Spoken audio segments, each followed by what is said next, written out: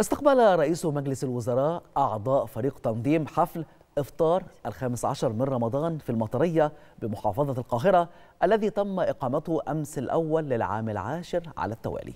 وقال مدبولي أن الاحتفالية تعبر عن الترابط والتلاحم بين أهالي المنطقة كما أنها تعبر عن روح التعاون التي تميز المصريين بشكل عام.